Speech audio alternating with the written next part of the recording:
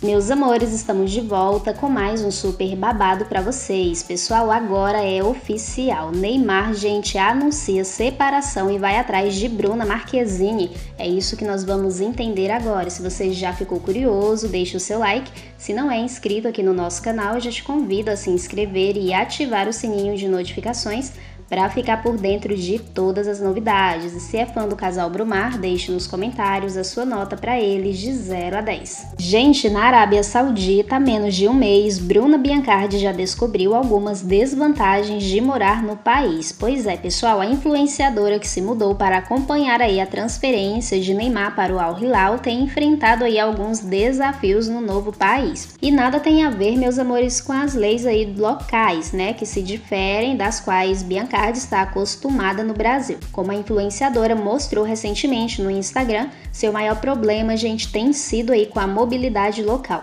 Morando em Riad, Biancardi explicou que sempre há trânsito na cidade. Abre aspas, não importa o horário, aqui normalmente tem trânsito, fecha aspas, escreveu a influenciadora em um story mostrando a rua. Recentemente, inclusive, gente, Biancardi também falou aí, né, sobre a dificuldade de encontrar uma roupa. Devido às leis locais, as mulheres, né, não podem usar nada acima do joelho nem que mostre os ombros. Pois é, meus amores, Bruna Biancardi revela desvantagens de morar aí na Arábia Saudita com Neymar. O que, é que vocês acharam aí dessa fala dela, né, nesse story falando aí do trânsito local? Deixe nos comentários a sua opinião. Mas não para por aí, gente. Acontece que o que está dando que falar aí nas mídias sociais neste sábado é que agora é oficial e o Neymar, meus amores, anuncia separação e vai atrás de Bruna Marquezine. Pois é, gente, de acordo aí com alguns internautas, Biancardi foi embora da Arábia Saudita, né, após a separação do Neymar,